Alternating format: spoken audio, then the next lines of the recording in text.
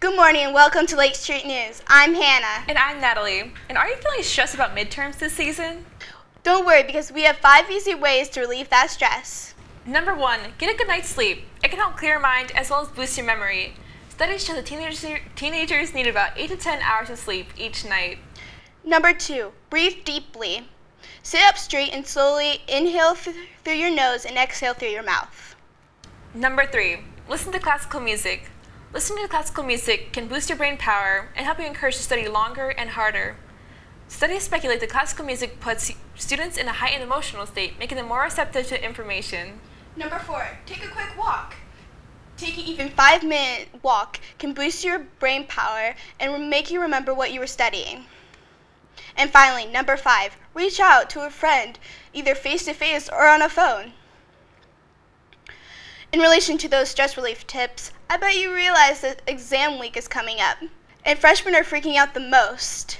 So why don't you check out Cocoa and Cram Thursday night, Thursday 19th, 4 to 6 p.m. You will be able to get class help from upperclassmen, and while doing that, you'll be able to have some delicious treats and get hot cocoa.